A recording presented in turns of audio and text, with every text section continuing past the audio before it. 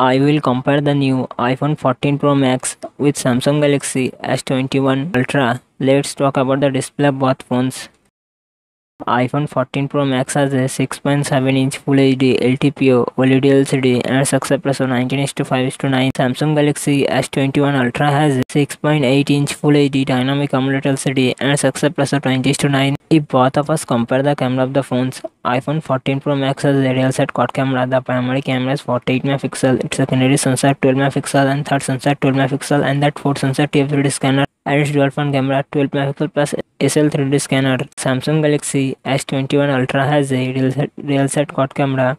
The primary camera is 108 megapixel, its secondary sensor 10 megapixel and third sensor 10 megapixel and that fourth sensor 12 megapixel and its front camera is 14 megapixel.